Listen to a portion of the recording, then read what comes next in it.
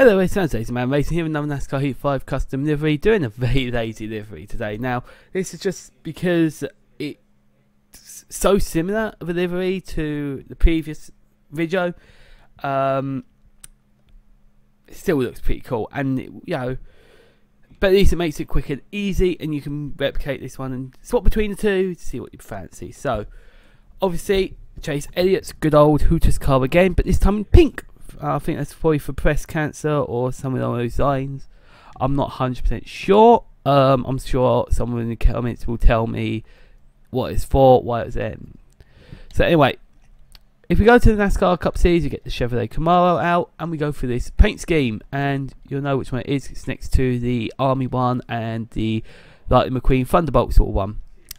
So we're really going to focus on this orange and try and get that right pink. And also pink.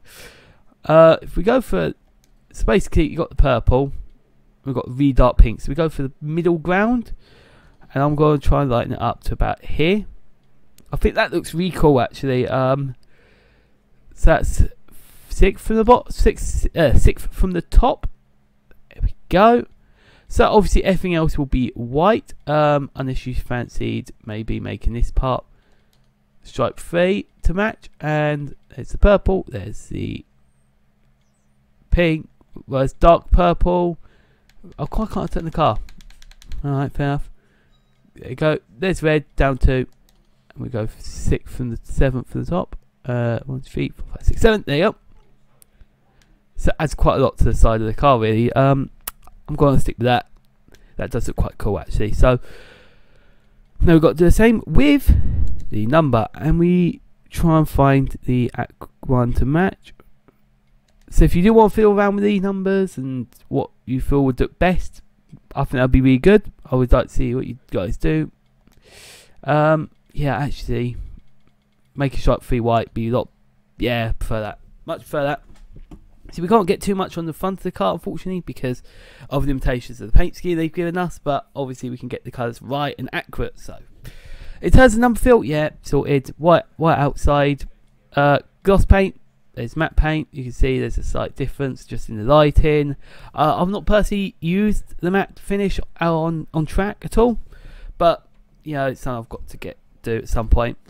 Be good to uh, be good to do that. Um, rim color, spoiler color, both black with the Hooters sponsorship on top. Shame we can't make the orange Hooters pink. If we did, it would make this livery a little bit more accurate. Mountain Dew on the side, Hooters on the side as well. So side sponsor Mountain Dew, rear quarter Hooters. Uh, I can see in this picture, and that's only because of this.